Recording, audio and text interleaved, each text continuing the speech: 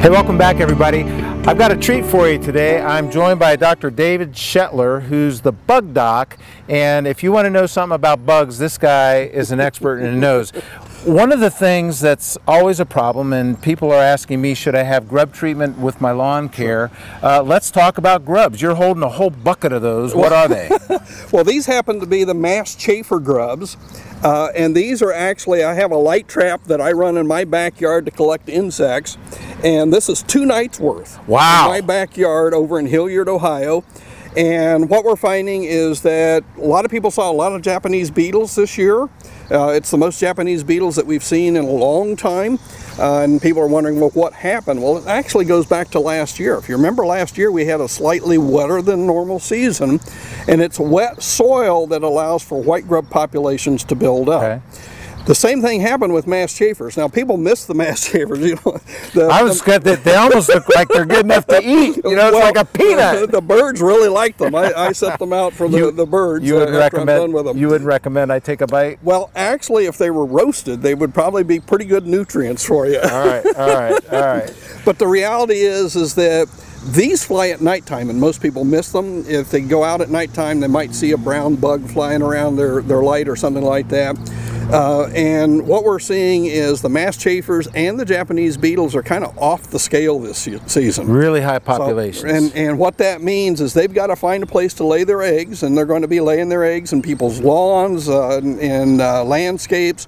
Uh, golf course superintendents, I've already alerted them, they need to really make sure not only are they going to protect their fairways, they need to protect their roughs this year because sure. they're going to get uh, grubs in there.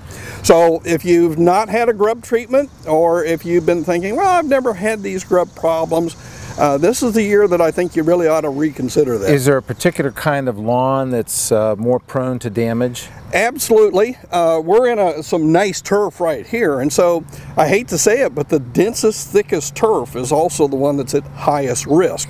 Uh, of having these. Also what we found is that lawns that are at least four to five years old have had enough time to build up the organic matter, the thatch that these grubs like to eat. And so if you've got that lawn that's, uh, let's say, over four to five years mm -hmm. old, it's pretty good, you've, you've kept the weeds out and it's fairly dense, you're at a high risk this year of having white grubs. You're sharing with me that these are scarab beetles and they actually eat that thatch, right? yeah, well, remember scarab beetles are dung beetles. And, okay. and what, what might remember, uh, you know, what might resemble a giant cow patty in your lawn. You probably don't think about it, but it's that layer of layer organic of matter, that sure. thatch that's sure. in there, and that's really what they're eating. Now, of course, they, they damage the root system while they're there eating that organic matter. So what do people do to control the, the possibility? Should they do a, a, a prophylactic treatment? Yeah, uh, the best insecticides that work the best for the, these white grubs are what we call preventive treatments. Now there are people that have been putting preventive treatments all the way from May, June, July, and people are saying, well, am I too late? No, you're really right at the ideal time right now because there's eggs in the turf uh, those eggs are going to hatch out into the little tiny first instar grubs at the end of July, the early part of August. That's when you want the maximum amount of your insecticide there. And virtually all of the grub insecticides uh, that, that, are registered for white grubs work very well. Uh, things like uh, uh, what we call acelepryn, uh, uh, imidacloprid, thiamethoxam. Which is also known as merit. Merit, uh-huh. Okay. And uh, clothianidin, uh, which is arena uh, and thiamethoxam, which is uh, Meridian. All of those uh, work quite well against the white grubs uh, at this time. Now, obviously, there's different trade names for those.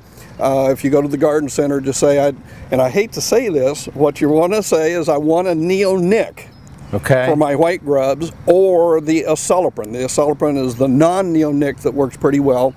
Where we run into problems is the cheapest bag that's in the store that's got that big circle with a grub in it, you yep. know, the line yep. through it. Yep. That has a pyrethroid insecticide in it. Doesn't work.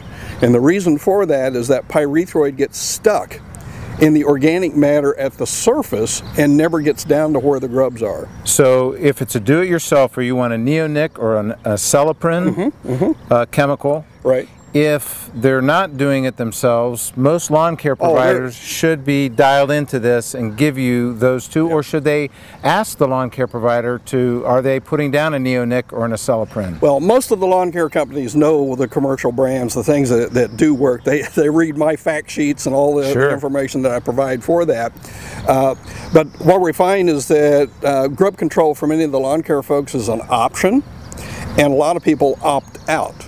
Uh, of that, so Yeah. uh, this is the the case that they might want to again call their lawn care company and say, you know, I told you I didn't want a grub treatment this year. I think maybe I want to reconsider that and do it. Particularly this year because the cycle is such that you've got big populations. Ab- absolutely. All right, we're going to talk about some more bugs in some other videos because this one went pretty long, but it was great information. I hope you'll check back with us. I'm Tom Wood for your garden.